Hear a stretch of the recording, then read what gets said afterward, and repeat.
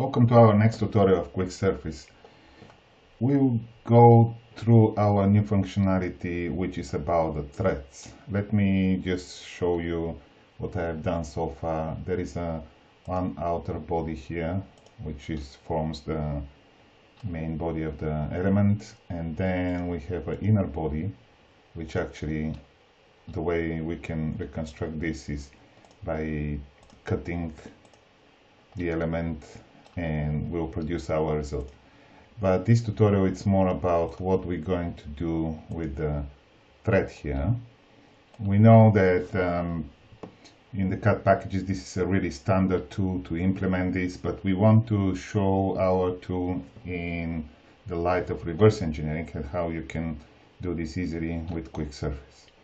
Of course, the first step was for me to create a thread profile. I just used the section here and I created this uh, um, sketch here and you can standardize, you can add dimensions here and you rec can reconstruct. But the next steps would be to define our thread profile.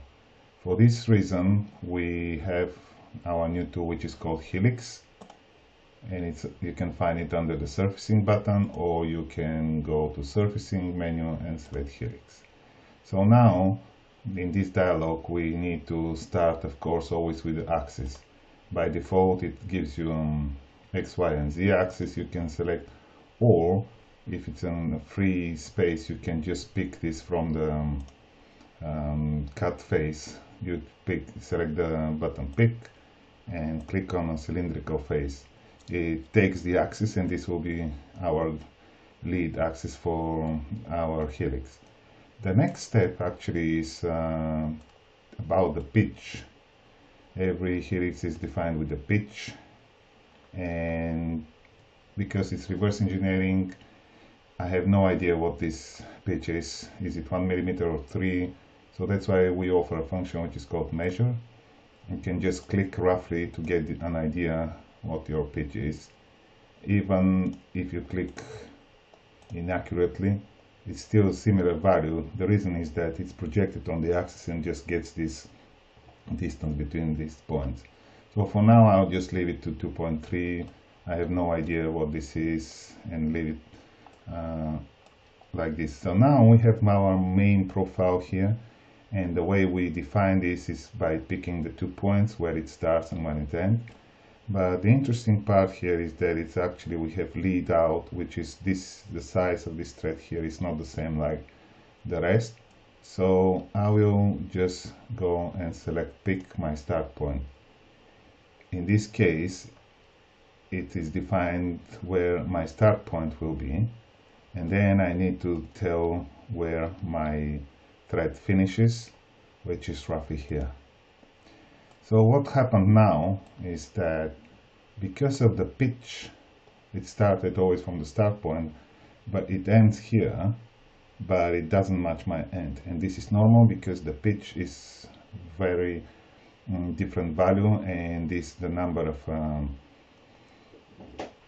the curves that you get around really depends on this pitch and for this reason we provide an auto adjust button so if you press auto adjust the software automatically finds the pitch which makes sure that from the start points it finishes to the end points as good as possible.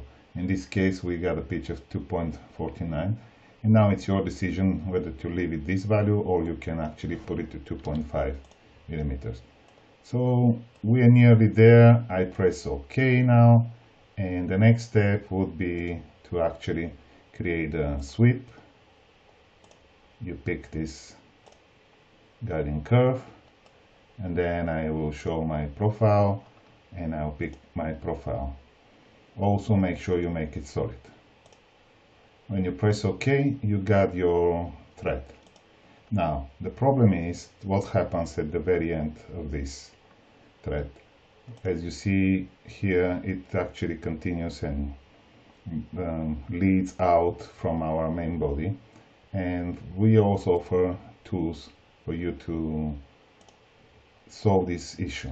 How it works is that there are two extra options here that you can extend the um, start and the end of your helix so I will hide my sweep body and here what I will do now is I will extend start by default it's just a straight um, line tangent to the to my helix and you can control the size. But also the other option is called natural which natural it actually continues the same helix up to 100% so you can get another round. This is uh, useful for example it's very um, needed in this case because here I will just use the natural so the um, helix will fade in into the our main body. So for the end this is the best option. But what happens here is still if I use the natural this doesn't solve my problem. So for this reason we provide two other options which are called radial in and radial out. The radial in is actually takes the um, um, line from this start point to the center and then def defines a radius for this um, curve. And with the slider you actually play with this radius. And as you see now it's quite small. So this is my radius for this curve. Or if I put it here up to 100% it doubles the size of my initial radius. In this case I can tweak and I adjust in such a way that my curve gets into the main body. When I'm ready, I can just press OK. And everything is reconstructed. I can see my sweep body is actually fades in into the, um, the mesh here. As you can see at the bottom, I will just hide my reference mesh we have some extra uh, thread which has been created and this will go into the main body. I will hide the helix now and now I can easily apply my boolean operations. I'll take the outer body, I will just hide the mesh, I don't need it. I will take my sweep profile, I will take with the control the other main body and I will apply it combined as you see now we got what we actually want nice and smooth transition and the other thread also fades in and my last step will be to take the inner body and from the main body I will just cut this until I get my result so I hope this uh, tutorial will help you to learn how to create easily threads in Quick Surface. Thank you for watching.